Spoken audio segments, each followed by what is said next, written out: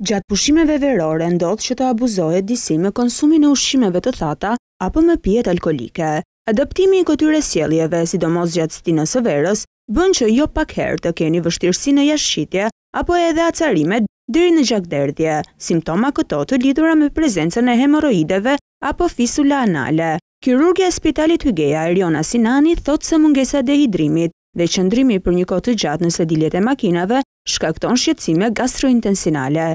Situata e pushimeve është akoma prezente dhe njerëzit shkojnë me pushime, konsumojnë ushqime, konsumojnë alkool, qëndrojnë gjatë në sedilje duke udhëtuar, duke pritur në trafik.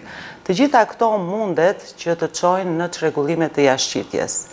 Një prej pasojave është shfaqja ose aktivizimi i hemorroideve ose fisurave të cilat deri në këtë situatë mund të kenë qenë të qeta dhe aktivizimi i tyre sigurisht e bën personin që të ndihet diskomfort edhe gjatë pushimeve.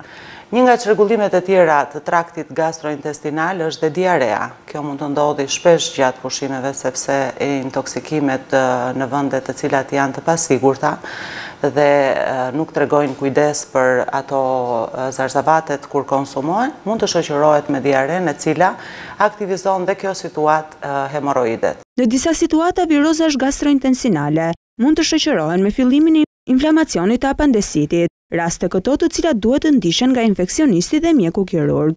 Situatat që shoqërohen me diare shpesh që mund të jenë me natyrë virale ose nga intoksikacionet, mundet që të japin edhe fillimin e një kolike apendikulare, pra fillimi i aktivizimit të infeksionit të apendisitit. Kjo është situatë që kërkon patjetër vëmendjen e mjekut dhe jo vetëm të mjekut infeksionist, por edhe të kirurgut, sepse kjo situatë mund të çojë deri në intervent. Mjekja ka disa këshilla të vlefshme që ju ndihmojnë për të lehtësuar simptomat apo edhe për të parandaluar këto patologji të zorrës së trashë.